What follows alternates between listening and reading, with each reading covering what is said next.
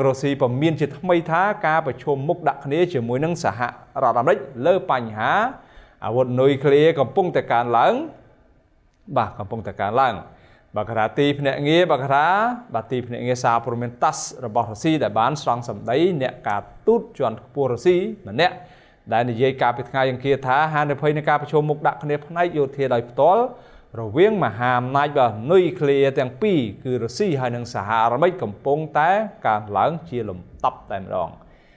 នេះបតាមបាការចេញផ្សាយដោយទីភ្នាក់ងារសារព័ត៌មាន Reuters បាទលោក Vladimir Bakra Yermakov ដែលជាមន្ត្រីការទូតនៅក្រសួងការបរទេសរុស្ស៊ីបានប្រាប់ទីភ្នាក់ងារសារព័ត៌មានរដ្ឋរុស្ស៊ីថាទីក្រុងវ៉ាស៊ីនតោនកំពុងបង្កើនហានិភ័យនុយក្លេអ៊ែរតាមរយៈទង្វើរបស់ខ្លួនជាមួយទីក្រុងមូស្គូមន្ត្រីជាន់ខ្ពស់បាទរូបនេះនិយាយថា ប្រសិនបើសហរដ្ឋអាមេរិកនៅតែបន្តដើរតាមចរន្តបច្ចុប្បន្ននៃការប្រជុំមុខដាក់គ្នាជាមួយរុស្ស៊ីប្រកបដោយការបង្កើនអត់ជប់ឈួរនៅជំហរបាទឈ្មោះទៅរកចំនួនបាទប្រដាប់អាវុធដោយផ្ទាល់ពេលនោះហើយបើចូលវាសនានៃសន្ធិសញ្ញាស្ដីពីអាវុធនុយក្លេអ៊ែរអាចនឹងត្រូវដល់ទីបញ្ចប់ផងដែរ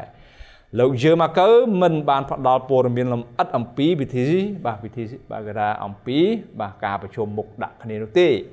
មន្ត្រីការទូតបាកាថារុស្ស៊ីរូបនោះបាទគ្រាន់តែបានលើកឡើងថាការគម្រាមកំហែងដ៏ស្រួចស្រាលបំផុតនាពេលបច្ចុប្បន្ននេះត្រូវបានផ្សារភ្ជាប់ជាមួយនឹងគ្រោះថ្នាក់នៃកំណើនអាវុធនុយក្លេអ៊ែរ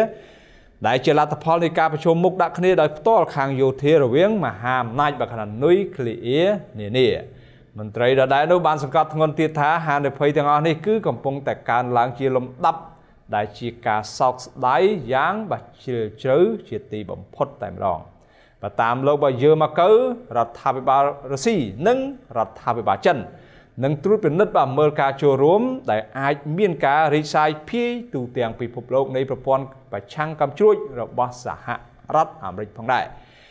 មន្ត្រីរុស្ស៊ីរូបនេះបានចាត់ទុកថាដំណើរនេះអាចនឹងធ្វើឲ្យខូចដល់ស្ថិរភាពផ្នែកយុទ្ធសាស្ត្របាទយ៉ាងជាក់ច្បាស់តែម្ដង តាំងពីរុស្ស៊ីចូលឈ្លានពានលើអ៊ុយក្រែន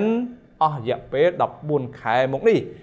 ទីក្រុងមូស្គូបានថ្លែងចោទជាប្រចាំថាសហរដ្ឋអាមេរិកនិងអ្វីដែលខ្លួនហៅថាលោកខាងលិចជាក្រុមបានបង្កើនហានិភ័យនៃសង្គ្រាមបាទនុយក្លេអ៊ែរតែម្ដងនេះជាវោហាសាសរបស់រុស្ស៊ីក្នុងគោលបំណងបន្ទុចបង្អាក់សម្ព័ន្ធមិត្តរបស់អ៊ុយក្រែន